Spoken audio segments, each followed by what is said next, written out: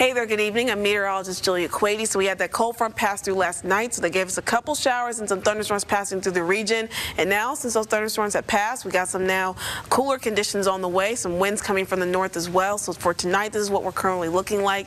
Uh, temperatures dropping to around 49 degrees under mostly clear skies. Again, this is some very cool conditions for us, seeing our temperatures drop into the 40s, and also we'll have some light winds to contend with as well. Winds going between 10 up to 15 miles per hour for us tonight. So again, just reinforcement of those cooler, drier conditions right behind that cold front settling in that will continue as you look ahead to the beginning of your work week for your Monday. So I'll give you all the details of exactly how long we're being able to expect these cooler conditions on the way and when we can expect more some warm up in our temperatures and my full forecast coming up.